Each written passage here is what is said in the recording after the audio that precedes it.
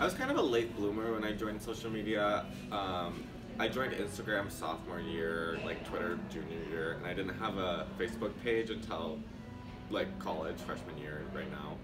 Um, so I think it, it took me a while to become privy to like what social media is and how to use it. But now that I am part of it, I understand better um, what benefits and negatives it has on my life and others' lives around me.